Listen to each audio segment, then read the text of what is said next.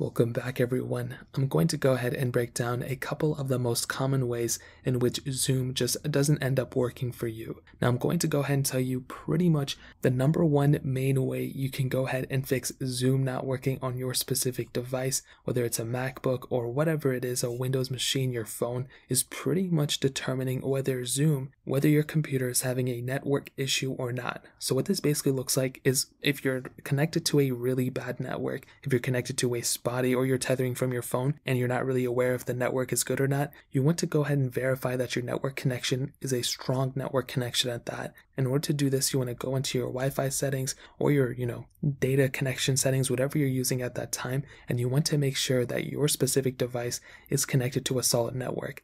Once you go ahead and have that out of the way, you would then want to go ahead and verify that you're able to go ahead and load up some web pages and other stuff. You want to go into youtube.com, you want to go into some other heavier intensive websites, things like maybe like a gaming website or whatever the case is, even Apple's website, and you want to see how long it takes you to go ahead and load up those specific pages. If it takes you a very long time to go ahead and load those things up, then it's probably, you know, an issue with your specific device, then it's probably an issue with your specific network connection, and you're going to have to get that fixed in order to actually go ahead and fix this specific problem.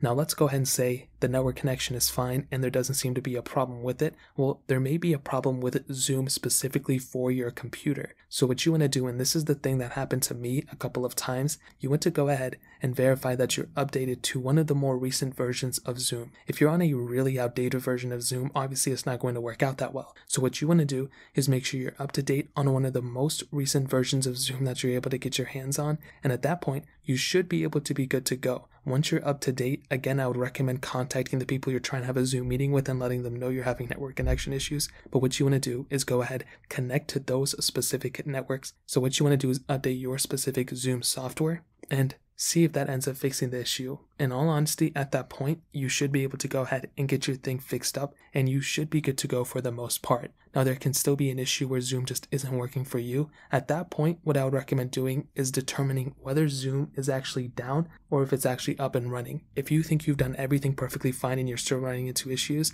I would highly recommend I would highly recommend you to go ahead and go to either downdetector.com or go on Twitter or ask your friends, "Hey, is Zoom working for you?" If everyone is having problems with Zoom, then you probably can be rest assured that it's probably a, you know an issue with Zoom themselves and not an issue with you as, you know, your computer or your software. So, that's really pretty much it. Just two main ways and then the third way at how to fix these problems. If you guys have any other questions or anything like that, let me know in the comment section below. Hit the like button, that would mean so much, but definitely hit that subscribe button. Every single subscriber that we get really does count. So means so much if you guys get hit that. Also check out the other links down in the description as well. My Twitter, my Instagram, my other channels. More importantly than everything else, I love every single one of you guys. Hopefully I'll catch you guys in the next video. Peace out till then.